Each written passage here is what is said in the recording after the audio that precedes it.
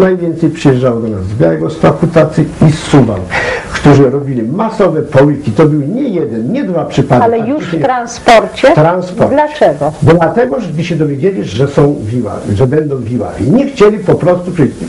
Nie wiem, widocznie była taka opinia w całej Polsce, że jadą do tak zwanej krwawej wiławy, jak oni to nazywali i nie chcieli przybywać, bo nawet na życie się targali.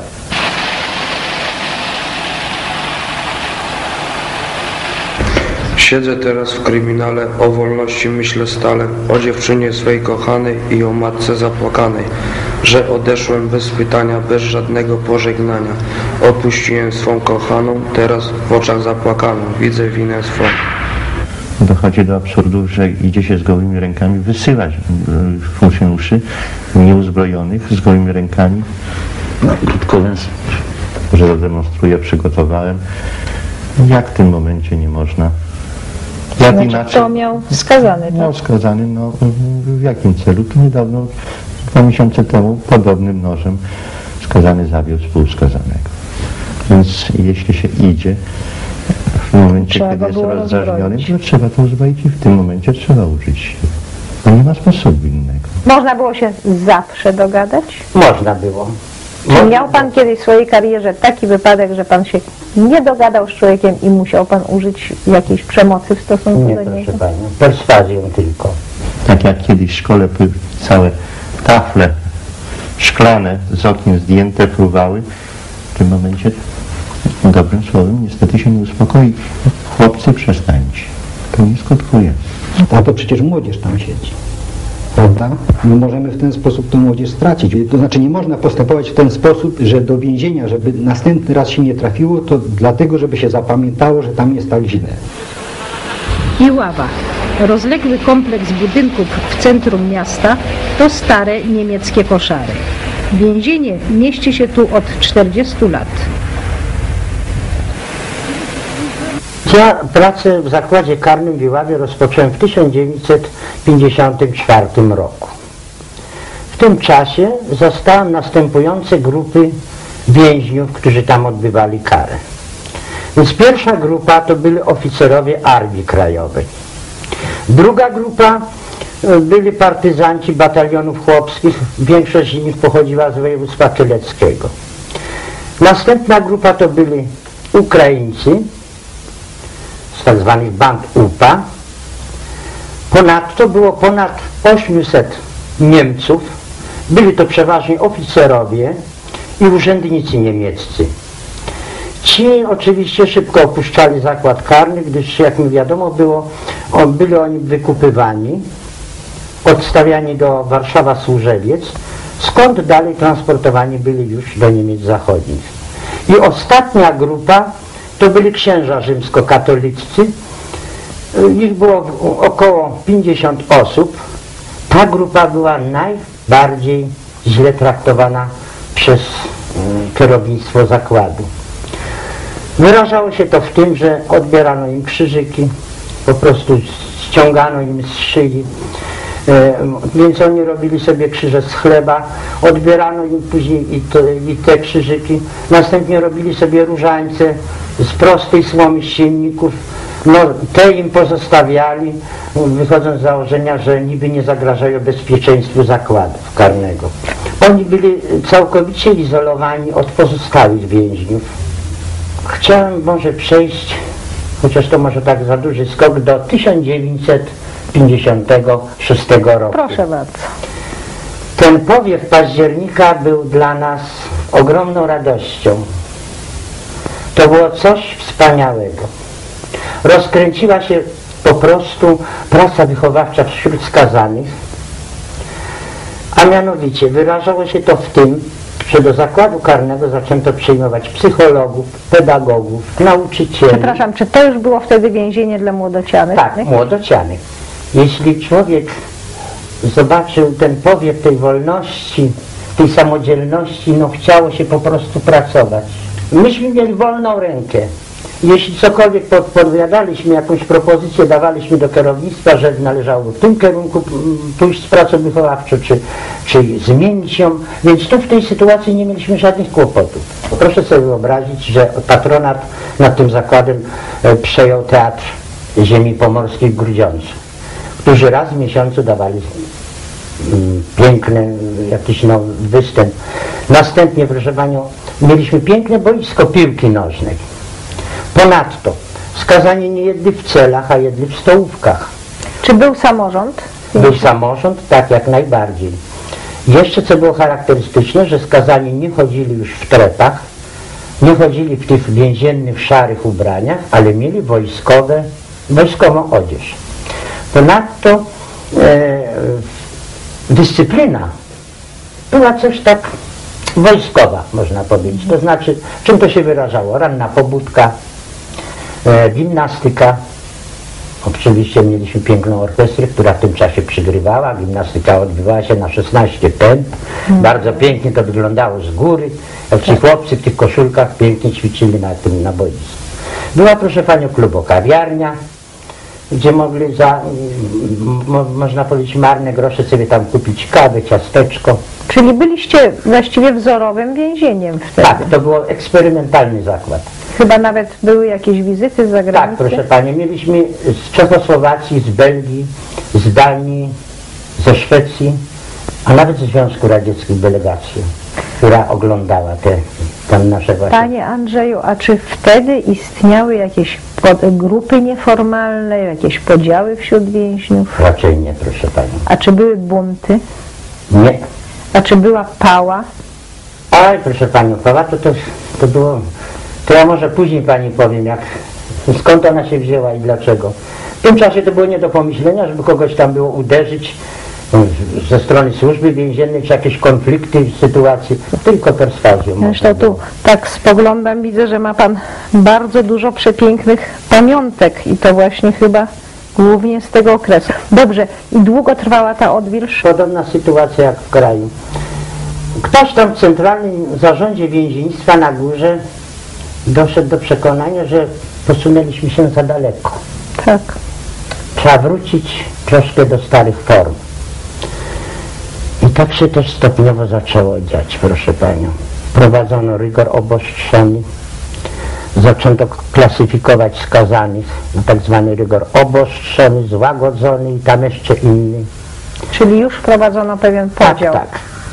Proszę Panią, w zakładzie pojawiła się czarna sotnia. Co to jest? Pupile pana Radkiewicza, ministra, gdzieś musieli pracować, a ponieważ więziennictwo bezpośrednio przed tym podlegało pod Ministerstwo Bezpieczeństwa Publicznego, Tak. więc ci ludzie stracili pracę, a w związku z tym zaczęli, jak to się mówi, oknami i bramami pchać się do zakładu karnego. I to była, proszę panią, zaraza dla nas. To była wielka zaraza. Przede wszystkim rozpoczęło się tak zwane kapowanie, szukanie kapusi, tak zwane ucho. Czyli, że instytucja samorządu została zastąpiona przez instytucję Tak, jak kapusi. najbardziej, jak najbardziej.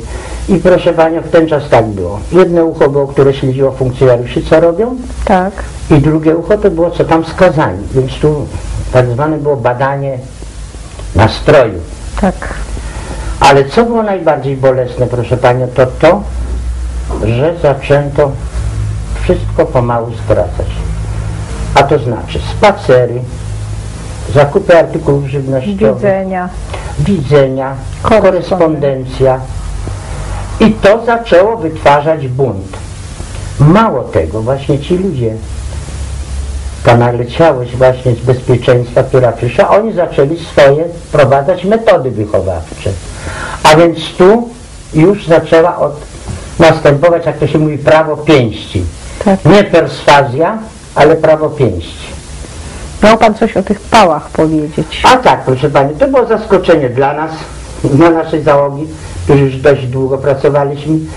Któregoś dnia mm, z działu gospodarczego przyjeżdża samochód z Warszawy, przywozi takie długie skrzynie oczywiście, z instrukcją polską, jak należy się posługiwać tą pałką. Bardzo dokładnie O opisane, Boże. tłustym drukiem na pięknym papierze. I to one prawdopodobnie gdzieś na zachodzie zakupione, bo to były różne gatunki, krótkie Słowem nie każde zło przychodzi ze Tak. wschodu. Tak.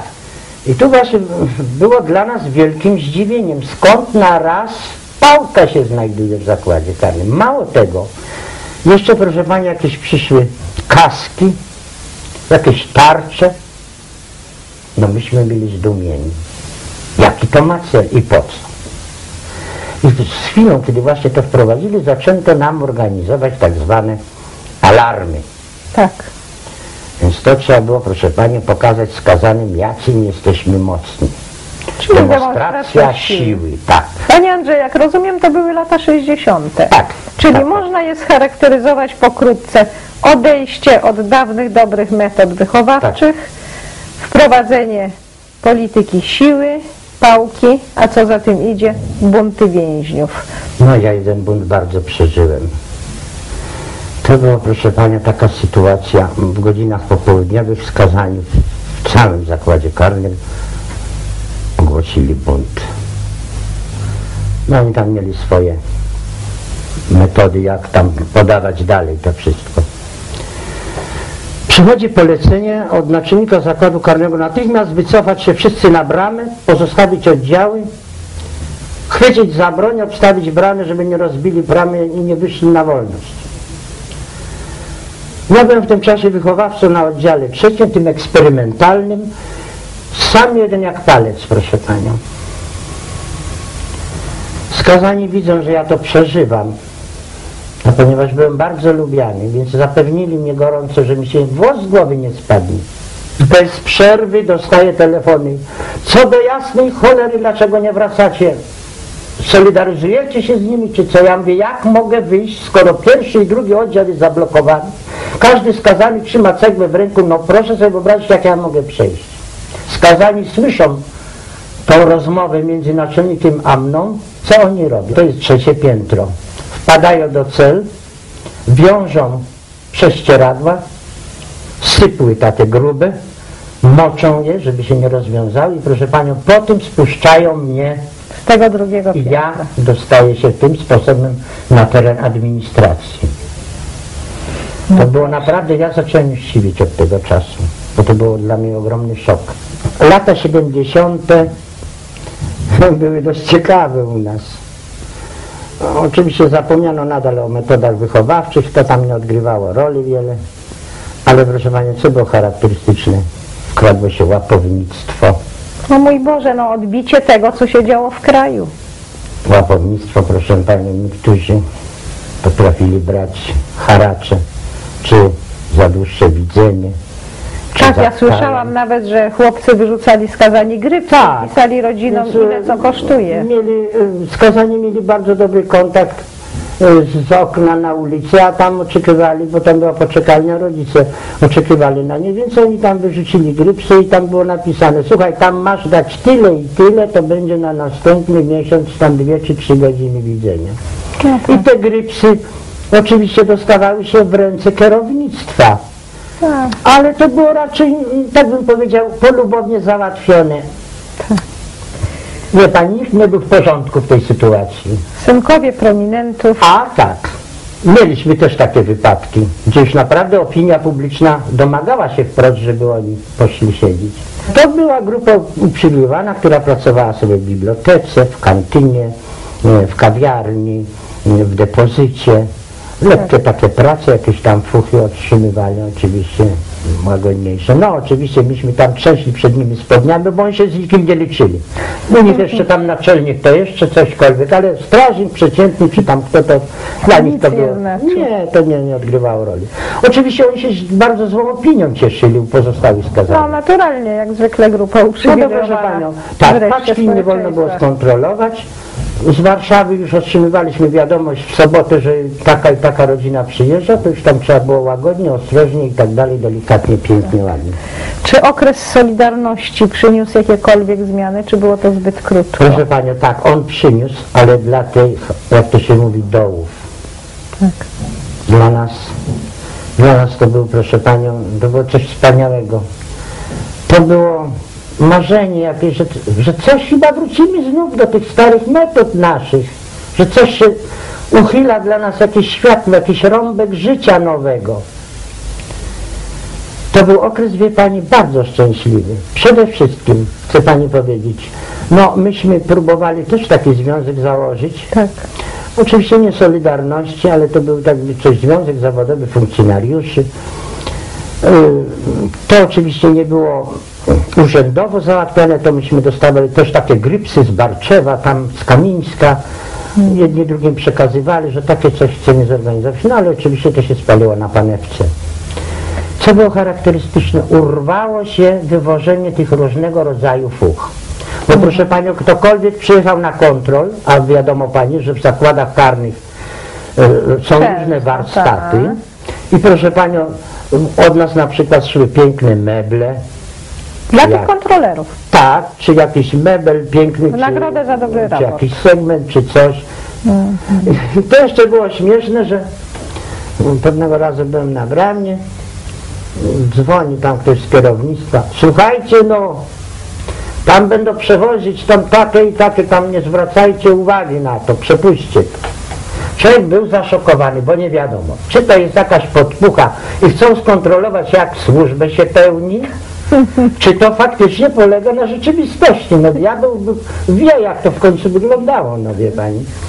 Panie Andrzeju, e, proszę mi jeszcze powiedzieć, kiedy zaczęło się takie zagęszczenie, zagęszczanie cel i szykowanie miejsca dla e, internowanych? To jest A to proszę interesujące. panią, to już na krótko przed ogłoszeniem stanu A czy pan pamięta pan właśnie w jakim mniej więcej czasie, tydzień wcześniej, miesiąc wcześniej?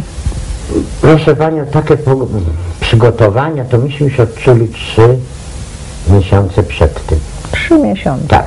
To się mm, uwidatniało w tym, że już zaczęły robić al alarmy różnego rodzaju, ćwiczenia z tarczami, z pałkami i tak A wie pan dlaczego ja o to pytam? Internowani z Olsztyna, którzy znaleźli się w Iławie, mieli na tych e, nakazach internowania napisane zakład karny w Kamińsku. I to było skreślone, ręcznie dopisane w Iławie, a przecież Kamińsk spłonął we wrześniu. Tak, tak, No tak, właśnie.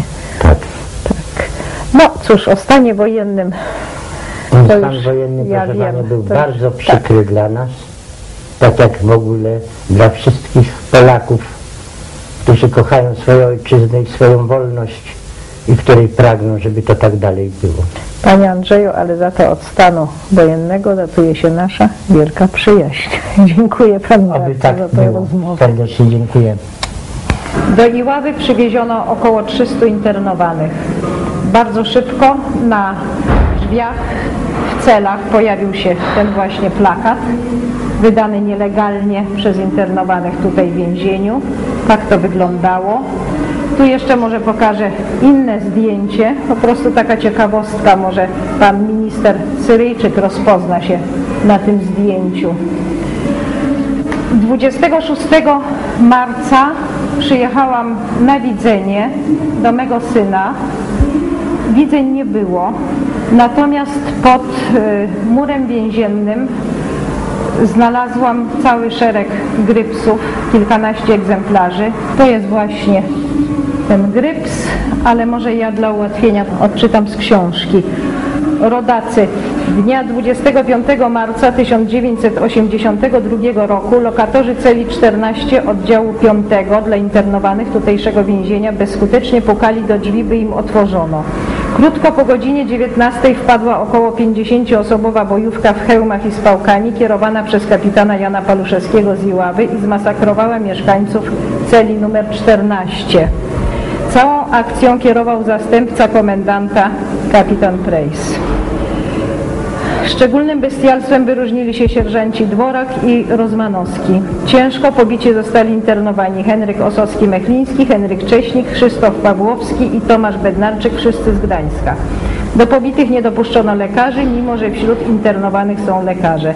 Bojówka wraz z oficerami była pod silnym wpływem alkoholu i środków dopingujących. Żądna nowych ofiar bojówka przez dłuższy czas pozostała na oddziele, usiłując prowokować innych internowanych.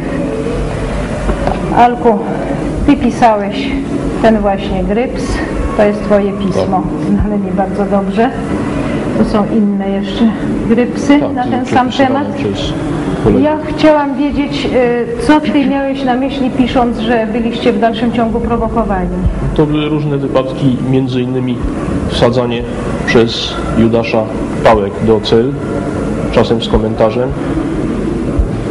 Yy, Były na przykład w czasie wydawania posiłku po tej całej akcji wypadki jeszcze kopania nas, takiego powiedzmy niedotkliwego, ale mającego na celu wywołanie reakcji z naszej strony.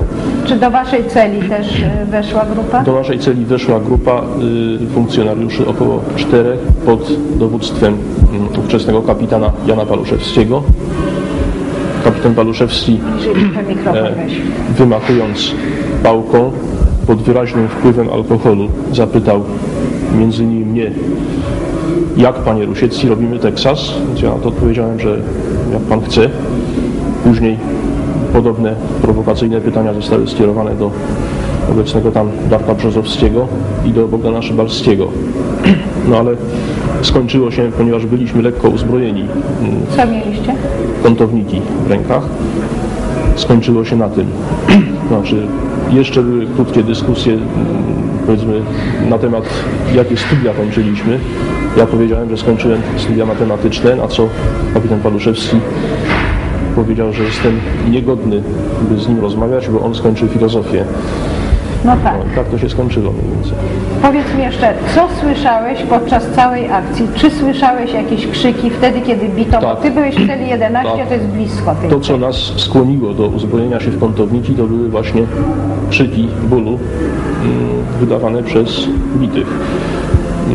Zresztą później również wyglądaliśmy za pomocą prowizorycznego peryskopu przez y, Judasza i widzieliśmy mm, ścieżkę zdrowia, jaka, tu miała miejsce. Tak zwana ścieżka zdrowia, to znaczy szpaler y, funkcjonariuszy i dwóch spośród mm, pobitych z celi 14 zos- zostało jeszcze przez to przepuszczonych. To znaczy musieli przebiec pomiędzy funkcjonariuszami i e, otrzymywali razy pałkami. Tak, ja muszę tutaj wyjaśnić, że wśród nas nie ma żadnego z pobitych, ponieważ wszyscy czterej wyemigrowali z kraju. Ale teraz ja mam pytanie do Pana, Panie Pułkowniku. Dlaczego doszło do tego i dlaczego pobita została akurat cela numer 14? Niczego nie było tutaj zamierzonego.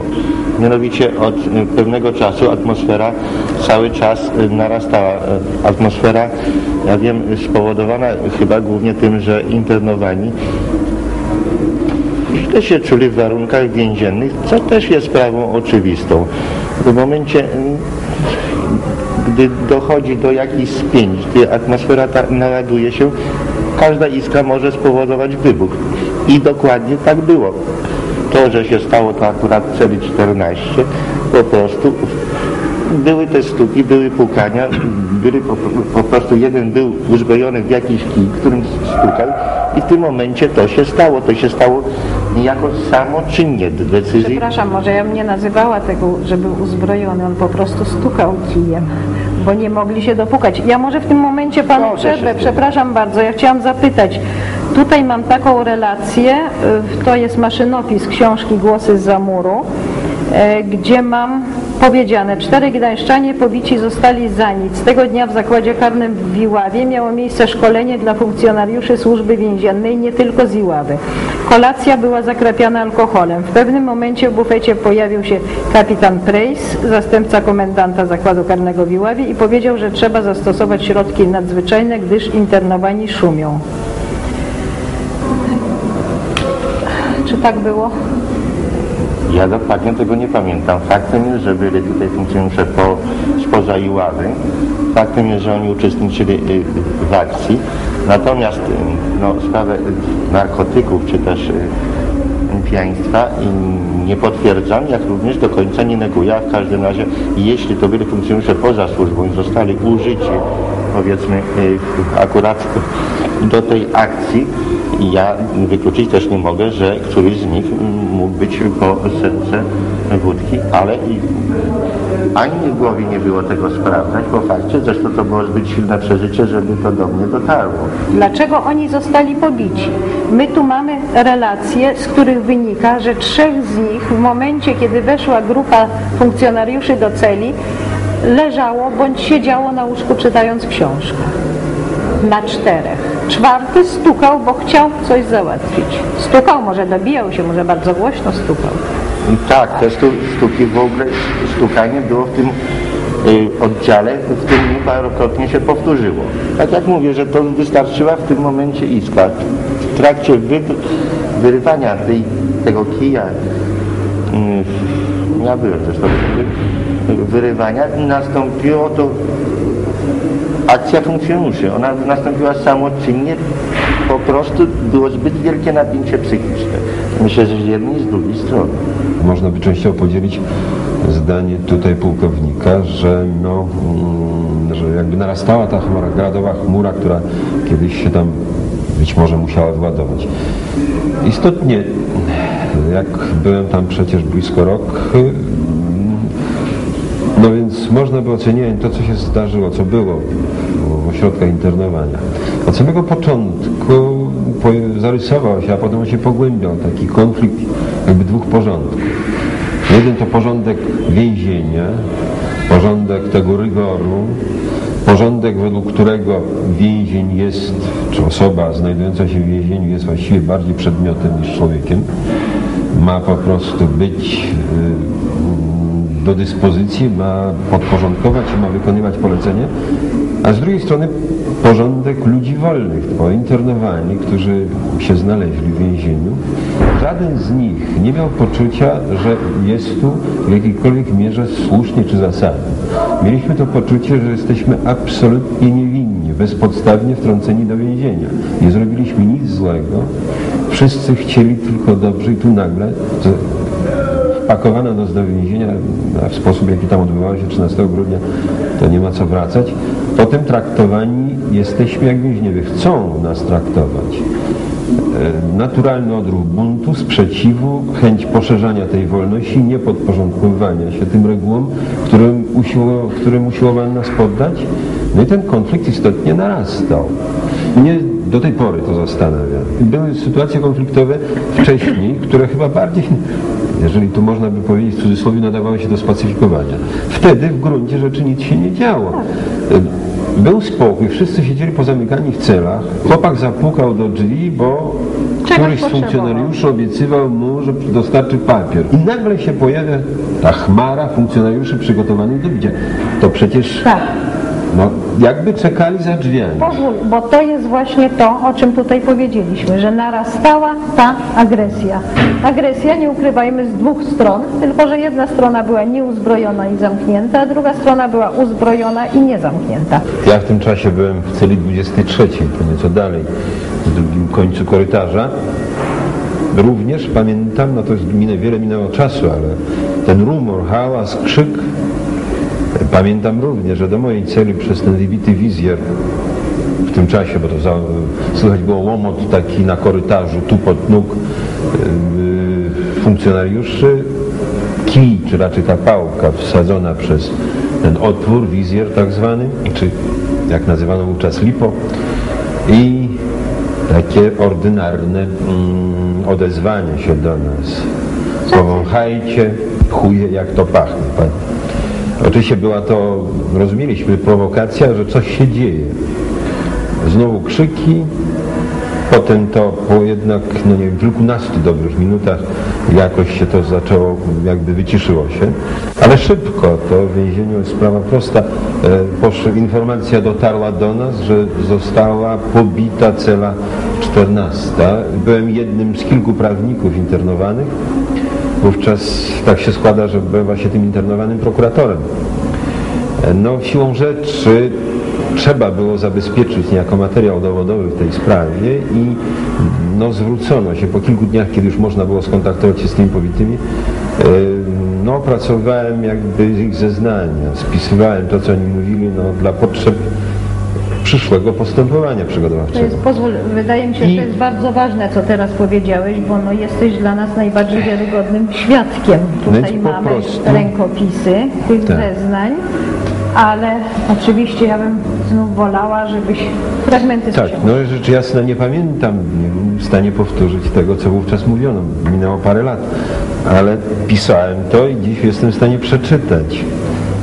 Mówi Krzysztof Pawłowski, lat 24 z Gdańska, powiada 25 marca około godziny 19.15 leżałem w łóżku. Wszedł mężczyzna dobrze zbudowany, wysoki ubrany, w ortalionowy płaszcz, w hełmie, uzbrojony w długą y, pałę i tarczę. Zwrócił uwagę mojemu koledze Osowskiemu, który stał przy drzwiach, żeby stanął na baczność. Sprawiał wrażenie podenerwowanego, lecz trzeźwego. Rzucił ostrym tonem, co jest, chcecie oberwać i bez ostrzeżenia, niesprowokowany w żaden sposób zadał kilka ciosów.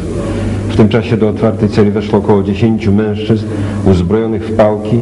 Nie wszyscy mieli tarcze. Leżałem na łóżku, gdy podszedł do mnie mężczyzna. Kazał mi wstać. Stanąłem przy łóżku. Mężczyzna zamierzył się do ciosu. Cofnąłem się z kolegą Cześnikiem w stronę okna. W czasie cofania byliśmy bici przez wymienionego mężczyzną pałką. Uderzył z dużą siłą na oślep. Tym czasie widziałem, jak inni mężczyźni biją pałkami pozostałych dwóch kolegów. Mężczyzna w ortalionie, który pierwszy wszedł, przerwał na moment bicie ironicznie zapytał, co, Regana wam się chce? I uderzył mnie pięścią w żołądek. Poczułem silny ból, zrobiło się mdło. W tym czasie inny funkcjonariusz umundurowany stanął na dolnym łóżku, zaczął mnie bić pałką po głowie. Inni również zadawali ciosy pałkami i miałem wrażenie, że starają się zadać jak najwięcej ciosów. Zasłoniłem rękami głowę, zostałem uderzony wiele razy. Po chwili upadłem na podłogę, padając zauważyłem, że wypchnięto kolegę Tomka. Panie pułkowniku, czy pan próbował w którymś momencie przerwać to bicie? Tak, próbowałem. Próbowałem, zresztą cały czas próbowałem, z tym, że to było nie do końca skuteczne.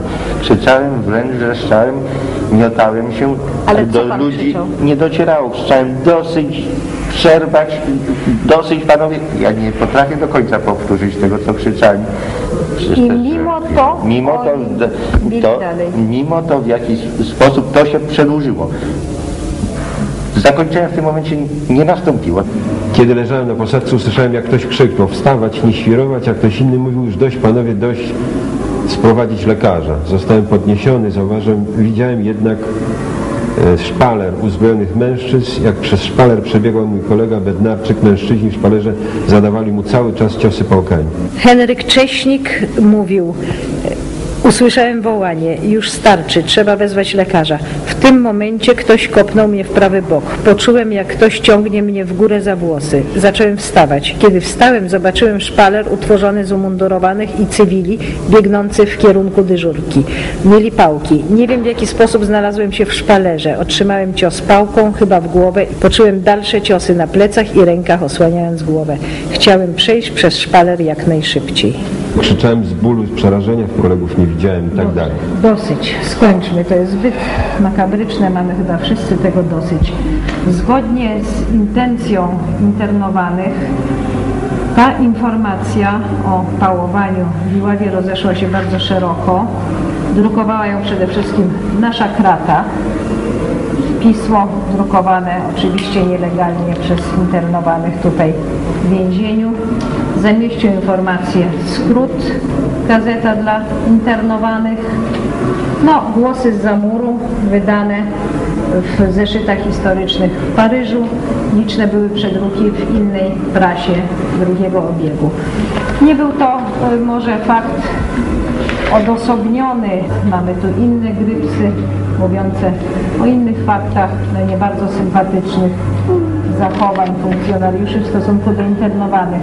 Skazani napisali wtedy list do internowanych, w którym pisali myśleliśmy, że was nie odważą się pobić. Teraz widzicie, co się może stać z człowiekiem w tym więzieniu. Stefan, y, napisaliście wówczas y, pismo do ministra sprawiedliwości, które tu mam z wieloma podpisami, jak również do prokuratora generalnego i do prymasa Polski, żądając y, no, ukarania winnych pobicia. Jaki był los tego pisma tej sprawie? Początkowo to się jakoś wlekło i nie, nie było reakcji. Rozpoczęła się głodówka. Przyjeżdżał biskup, zobowiązał się do tego, że no, spowoduje e, jakąś wyraźniejszą akcję ze strony organów powołanych do wyjaśnienia sprawy. Ostatecznie wiem, że było prowadzone jakieś postępowanie. Nas w czerwcu rozwieziono. Myślę, że głównie dlatego i- zlikwidowano tak. ośrodek odosobnienia dla internowanych w Iławie, Podobno zakończyło się to umorzeniem. W każdym bądź razie no, o chłopakach, jak wiadomo, nie wiemy. Wiele wszyscy wyjechali. Skończył się ośrodek internowania w Iławie. Tak wtedy wyglądało to więzienie.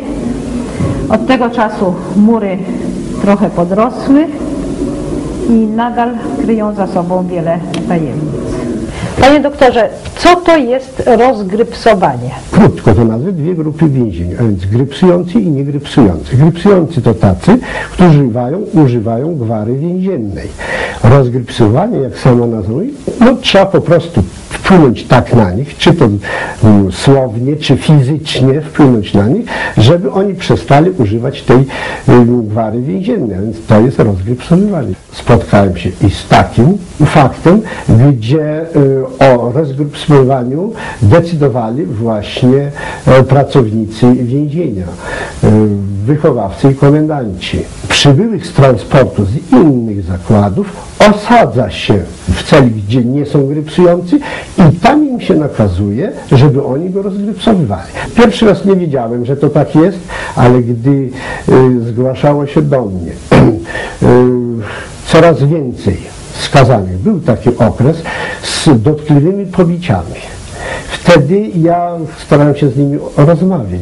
I oglądałem tak straszliwe pobicia i skatowania, to wtedy mm, ja mówię, no chłopie, co ty mnie tutaj bajki pleciesz, kiedy ty jesteś pobity, mnie to nie zależy, czy ciebie pobił ktoś, czy tego, ale mm, powiedz, to jest twoja sprawa i twoje życie. I oni mnie wtedy, przypro- przyniesiono mnie dwóch skazanych w kocu. Byli to chłopcy tak dotkliwie pobici, że byli we wstrząsie bólowym. To było coś strasznego, że ja z pielęgniarką, panią Basią, siedziałem kilka godzin, może nawet powiedzieć kilkanaście, bo do 21 wieczorem i wyprowadzałem ich ze wstrząsu. Poprowadziłem ich tak, jak oni by to leżeli na oddziale chirurgicznym czy na intensywnej terapii, nawet oni się nadawali na oddział intensywnej terapii. Mogę dodać, że o tych pobiciach zawsze meldowałem wychowawcom i komendantom i myślałem, że ta sprawa jest załatwiona. Jeśli to się powtarzało i wtedy oni mnie sami skazani powiedzieli, jak to się wygląda, to wtedy mnie po prostu włosy dęba stanęły. I my jako służba zdrowia, ja z nimi, z, ze swoim pracownikiem, zgłosiliśmy to po prostu do naczelnika Dymowskiego. Panie pułkowniku, czy instytucja rozgrypsowywania, o ile to dobrze nazywam, istnieje nadal? Nie. Zostało to zlikwidowane. Zostało to zlikwidowane, aczkolwiek było ciężko to zlikwidować. To są lata całe tradycji, złej tradycji. Czy ktoś został za to ukarany? Tak. Sporo funkcjonariuszy było karanych. To znaczy w jaki sposób? To jest Kary dyscyplinarne. Głównie kary dyscyplinarne, tym, że surowe kary dyscyplinarne. Alku, tu masz przed sobą zdjęcia, które zostały wykonane w tym więzieniu podczas pobytu internowanych. Co one przedstawiają? Przedstawiają dźwiękoszczelną celę, w której po prostu umieszcza się y, osobę zamkniętą, kiedy mm, no, zdaniem Straży Więziennej zachodzi taka potrzeba. E, Jest to cela zbudowana w drugiej celi. Jest tu widoczna na przykład przestrzeń pomiędzy oknem zewnętrznym a oknem prowadzącym do tej celi. Tu jest może wyraźnie to samo. Tu znowu mamy od środka tej celi dźwiękoszczelnej zdjęcie przez okno z plexiglasu na okno prowadzące na zewnątrz budynku. Ta cela nazywa się termosem. Termosem się nazywa, bo tak jak termos jest zbudowana mniej więcej w podwójnej ścianie. Tu jest wejście do celi dźwiękoszczelnej od środka, od, od wnętrza celi. E, Tu jest natomiast wejście w taki korytarzyk, który prowadzi pomiędzy ścianą zewnętrzną celi, a tą wbudowaną w środku, wokół tej celi dźwiękoszczelnej. Czy ta cela nadal funkcjonuje? Tak, z tym, że od razu wyjaśnię, w stosunku do internowanych nigdy Ja nie była wiem, nigdy stosowana. nie była użyta, to ja wiem. Tak, i Oni umieści, tutaj tam sami weszli, nikt ich tam nie zamknął. umieścić w tej celi można y, dopiero za zezwoleniem naczelnika bądź decyzją dowódcy zmiany, czy też oficera dyżurnego, z tym, że każdorazowo sankcjonować taką decyzję musi naczelnik. Spogląda się odpowiednio protokół, a kiedy jest stosowana? Właśnie. Stosowana w przypadku, kiedy y, ktoś dokonuje samouszkodzenia, ma zamiar dokonywać dalej, zakłóca y, spokój, Ale y, kryminał nie jest instytucją do końca szczelną. Zdarzają się wypadki wypicia. Jeśli jest rozruba, to trzeba to izolować od pozostałych. Jest to zupełnie szczególna tortura, tortura przede wszystkim psychiczna, polegająca na tym, że człowiek wie, że cokolwiek z nim się będzie działo, nie będzie przez nikogo usłyszany. W latach 1984-85 prasa drugiego obiegu parokrotnie zamieszczała informacje o dramatycznych wydarzeniach w więzieniu w Iławie. E, Mam przed sobą biuletyn agencji e, KAT, Krajowa Agencja Terenowa, z października 85 roku, w którym wydrukowano gryps z krwawej Iławy, tak to się nazywa, może przeczytam fragmenty. E, 17 lipca tego roku znowu było bicie. W zeszłym roku, czyli w 1984, 10 czerwca było strasznie. Zaczęło się na drugim oddziale. Gity chcieli, żeby z nowych transportów dawać więcej ludzi do nich, żeby ich buntować. Tak mi przynajmniej wiadomo. Po trosze szło też o żywność. Kiedy siedzieli tu internowani, jedzenie poprawiło się, wprowadzono drugie danie. Potem znów było gorzej. U Gitów jest tak, że jak jeden powie, że mają się chlastać, to wszyscy będą się chlastać, bo tego, co się będą topić w kiblu. Ten bunt poszedł po wszystkich oddziałach. Najwięcej pochlastali się na drugim i na szóstym. Szkoda mi bardzo tych ludzi. Wtedy klawisze zachowali się strasznie, bili. Takie słowo nie oddaje tego, co się działo. Trudno opisać, jakie to było bicie, właściwie masakra, kopanie i bicie naraz. Po buncie tego samego dnia scholowano kilku gitów na czwarty oddział, gdzie są cele dźwiękoszczelne. My nazywamy je pasownie albo termosy i tam ich zmasakrowano. To więzienie nazwano kiedyś Krwawa i Ława. My mamy przechodzić proces resocjalizacji. To jest więzienie dla młodocianych. Jesteśmy tu pierwszy raz. Dlatego wołamy, uczcie nas pracą, rozmową, szkołą, nie biciem. Nie chcemy wyjść stąd gorsi niż byliśmy. Skazany na resocjalizację. Panie doktorze, 10 czerwca 1984 roku został Pan wezwany do tutejszego zakładu karnego. Co Pan tam zastał? Dzwoniła pielęgniarka zatrudniona w zakładzie karnym, że doszło do masowych samouszkodzeń e, skazanych.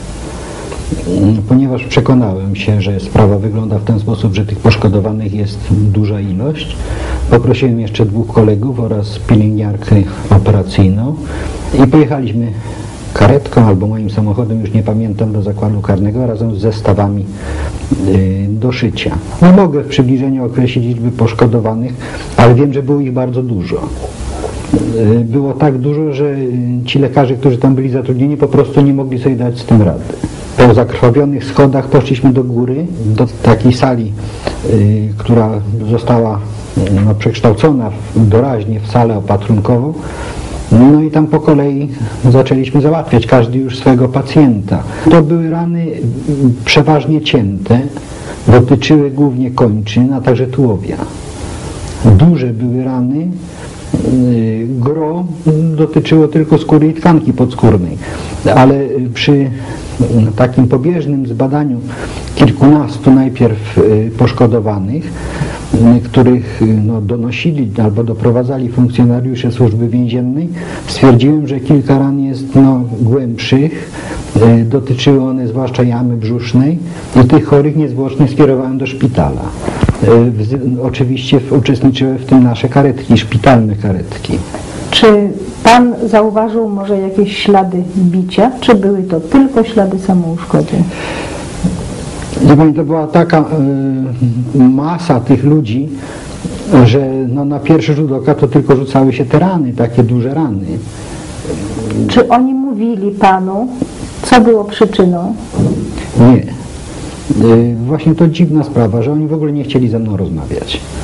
Y, Mimo, że przecież ja nie jestem funkcjonariuszem służby więziennej i oni wiedzieli, że ja przyjechałem z zewnątrz, ale oni nie chcieli ze mną rozmawiać.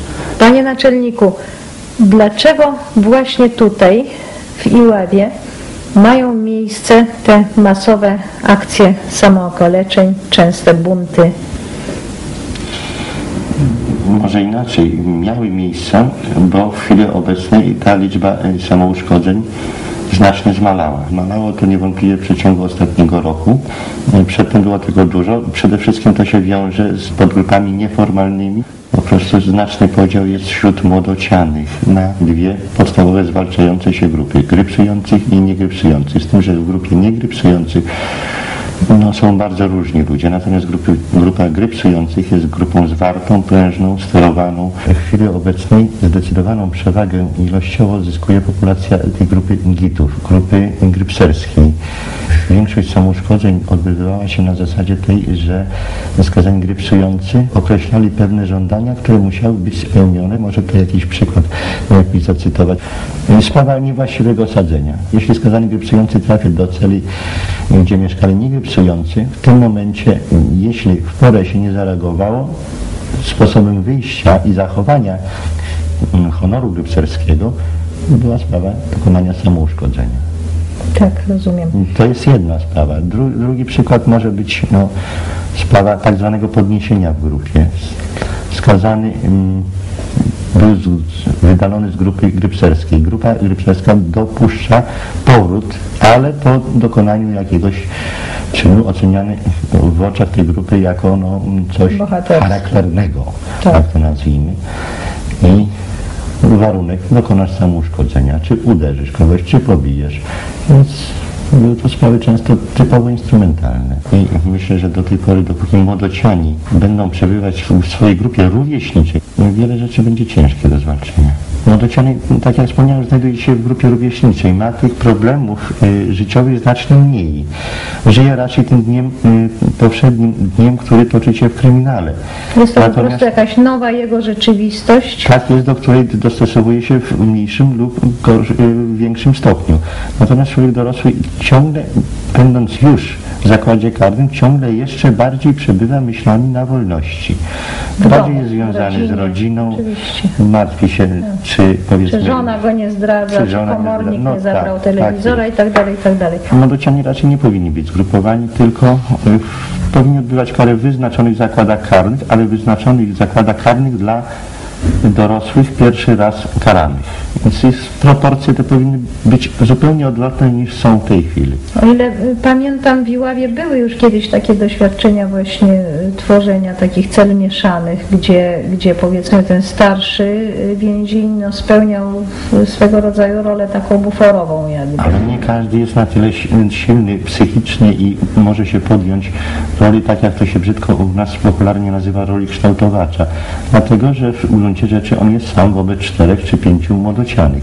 Te proporcje powinny się inaczej kształtować. I jednocześnie z praktyki wiadomo, że nieprawdą jest, że skazani dorośli oddziałują negatywnie, że uczą. Uczą rzeczy y, niekorzystnych, uczą przestępczości i tak dalej. Odwrotnie, uczą szeregu prawidłowych zachowań. A czy jest możliwe w tej chwili y, tworzenie takich y, mieszanych cel? W świetle nowego regulaminu będzie to niemożliwe, dlatego że zapis regulaminu mówi, że skazany dorosły może zostać skierowany do zakładu młodocianych jedynie po wyrażeniu przez niego zgody. Więc w najbliższym czasie tu ludzi starszych niż 21 lat, powyżej wieku 21 lat nie będzie. Należy Przepraszam za takie pytanie głupie, ale gdyby Pan był skazany, zgodziłby się Pan przyjechać do Iławy? Nie. Czy nowy regulamin ułatwia czy utrudnia współżycie służby więziennej ze skazanymi? Nowy regulamin łagodzi szereg dotychczasowych ustaleń. Likwiduje niektóre kary dyscyplinarne, wprowadza większy wachlarz nagród. No Jest tam jeden taki zapis mówiący o tym, że e, skazanych odbywających karę w rygorze obostrzonym można osadzać w oddzielnym ciele. W jakiś sposób odseparować od pozostałych skazanych. A są to skazani z reguły najbardziej zdemoralizowani, mający dużo do powiedzenia w kryminale, właśnie nakłaniający do zachowań takich mm, agresywnych i mm, nieregulaminowych. Więc to w tym zakresie może być pomocne, ale więcej niczego tutaj nie znajduję. Czy w tej chwili często czuje się Pan zmuszony do użycia siły, do użycia przemocy? Czy są takie sytuacje? Są to przykre sprawy, ale niestety zdarzają się. Trzeba stosować siła. Z tym, że siła, użycie pałek to w tej chwili to jest w ogóle wielki problem i z tego generalnie się nie używa. Szybko się uczymy rzeczy złych, gorzej z dobrymi. I to się rzuca po prostu. W międzyczasie to Otwiera się. Tak. Skutki tego nie muszę opisywać, jakie są. Y, Także w ogóle y, chodzi po prostu, żeby ta siła była użyta zasadnie i w tych ograniczonych, potrzebnych tylko. Tu w więzieniu rządzą jakby dwie siły. Z jednej strony są to tak zwani klawisze, czyli funkcjonariusze służby więziennej, a z drugiej strony ta gr- grupa grypserów, która bardzo często terroryzuje bądź usiłuje steroryzować całą resztę. Kto jest gorszy? No trudno mi powiedzieć, kto jest gorszy. E, Jedno i drugie to są ludzie, prawda? Wśród grupy ludzi są i lepsi i gorsi. Zdarzają się po obu stronach. E, Natomiast e, samo przebywanie w więzieniu, a ja już mogę o tym coś powiedzieć, to jest coś strasznego. Ten, kto ich pilnuje, to jest, no, e, wszystko od niego zależy. W środku w więzieniu nie ma nikogo z zewnątrz, kto by ich mógł bronić, prawda? Tam są tylko funkcjonariusze. Nawet jak przychodzi do lekarza, to jest też funkcjonariusz. Pielęgniarka jest też funkcjonariuszem. I myślę, że no, może dojść do różnych spraw, bo tam nie ma, po prostu nie ma jakiejś zewnętrznej kontroli. Tam są to w ogóle no, metody raczej kapralskie, a nie wychowawcze, prawda? To jest książka, która być może zawiera trochę rad, jak wybrnąć z tej sytuacji, gdzie y, więźniowie sami się nawzajem demoralizują i jedni drugich jeszcze dodatkowo niszczą, jakby nie dość było normalnych rygorów odbywania kary. Więc jest to książka Liberus Verbrecher y, autora Roberta Heindla z roku 1928 Tytuł przetłumacz. y, o zawodowych przestępcach. I to jest książka, która prócz różnej, y, pewnego kompendium wiedzy kryminologicznej, powiedzmy, zawiera opisy przykładowych więzień dla ciężkich przestępców z różnych krajów y, sprzed I wojny światowej. No i chciałem tutaj na przykładzie więzienia dla kolorowej ludności Indii, która wtedy była kolonią angielską, opisać, jak to wówczas wyglądało. Więc e, takich najcięższych przestępców, czyli morderców, e, sprawców zbiorowych gwałtów, powiedzmy, mm, jakichś większych napadów rabunkowych, osadzano na kolonii karnej na wyspach Andamanach na Morzu Bengalskim. Przy czym dalej y, odbywanie kary w ten sposób wyglądało, że pierwsze 6 miesięcy skazany przebywał w celi jedno, y, jednoosobowej, tak jak to mniej więcej tu wygląda na tym obrazku. Może go tak przedstawię w ten sposób. I mm, jeżeli przez te 6 miesięcy nie wykazywał jakichś skłonności do mm, dewiacji psychicznych, zachowywał się w miarę normalnie, wychodzono z założenia, że to wystarczy, aby przemyśleć mm, przemyśleć zło zawarte w czynie i dojść do w miarę obiektywnej oceny własnego postępowania. Wobec tego przez następne trzy lata skazany odbywał sk- y, karę na tak zwanym drugim stadium. Drugie stadium polegało na tym, że mieszkało się już w pomieszczeniach bardzo obszernych i no, o typie takich baraków, jak tutaj jest pokazane. Miało się swobodę w ciągu dnia y, poruszania się po terenie zakładu karnego, a w godzinach pracy było się w zwartych oddziałach doprowadzanym do miejsca pracy i tam e, miejsca pracy były bardzo różne, to znaczy od tłuczenia kamieni dla tych, którzy nic nie umieli, poprzez warsztat stolarski, produkcję powiedzmy włóczki wełnianej wiele innych jeszcze zawodów. Także nawet w toku tej pracy można było już się e, udoskonalić, czy powiedzmy mm, nabyć pewnej wiedzy fachowej. I teraz to drugie stadium trwało 3 lata.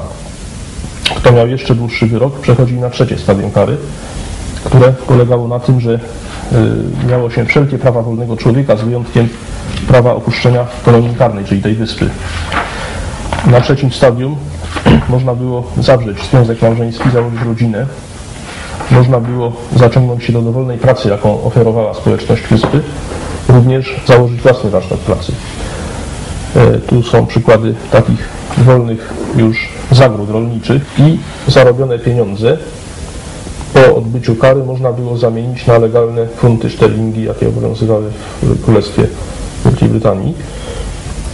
Także y, kto tę karę odbył do końca albo nawet został po trzecim stadium przedterminowo zwolniony, miał y, nie tylko już wpojone przyzwyczajenia pracy na własną odpowiedzialność i ponoszenia odpowiedzialności, ale również miał pewne pieniądze na y, start do życia w warunkach wolności. Tu przedstawiony system ja znajduję wi- wiele wspólnego z rozwiązaniami kodeksowymi, które w praktyce zostały tylko rozwiązaniami papierowymi.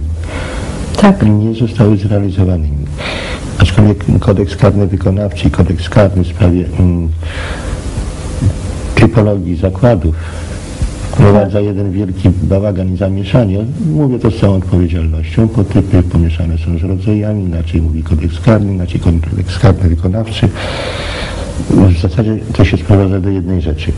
Zakłady dzieli się na typ zamknięty, półzamknięty, otwarty. Przez lat 30 istnienia kodeksu, rządów kodeksu karnego wykonawczego z 69 roku takie próby dokonał tylko jedynie doktor Korecki pod Opolem. I to w ostatnich czasach zakład otwarty, ale mniej więcej ten stopień przechodzenia był tak samo założony.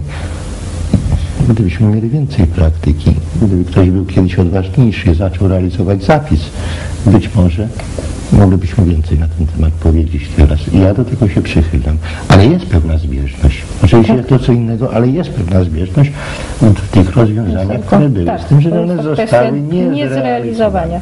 Może już y, nie będziemy się dłużej zatrzymywać nad y, zagadnieniami pracy tu w tym zakładzie, bo może tylko mi Pan jednym słowem odpowie, czy się mylę, czy nie. Y, Odnoszę wrażenie, że wygląda to tak, jak wygląda wszędzie u nas praca, czyli brak zaopatrzenia, brak surowców, brak odpowiednich maszyn, brak odpowiedniej organizacji itd. itd. Zgadzam się z tym i jeszcze dodatkowo dodam do tego, że brak odpowiedniego przeszkolenia powoduje niechęć przedsiębiorstwa do przyjmowania niefachowców. To z kolei też nie poprawia tych stosunków y, praca y, odbywana. I oczywiście tak, tak rzutuje na to, o czym mówił Tak. Alek, na zadowolenie, które mogłaby ta praca dać. A poza tym sprawa wynagrodzenia. No, W tej chwili dopiero rozwiązania właściwe były. Muszę tu koniecznie dodać, że te rozwiązania myśmy już dawno zgłaszali. Zostawały bez echa. Trzeba było dopiero wielkiej burzy, żeby te rozwiązania zostały wprowadzone. Tak. Oczywiście zupełnie inna jest rola pracy, która jest źle zorganizowana i y, nie daje pozytywnych skutków materialnych. Wtedy budzi wręcz odrazę do pracy i utwierdza y, przestępcę w przekonaniu, że praca nie jest sposobem na życie, dojście do jakichś wartości.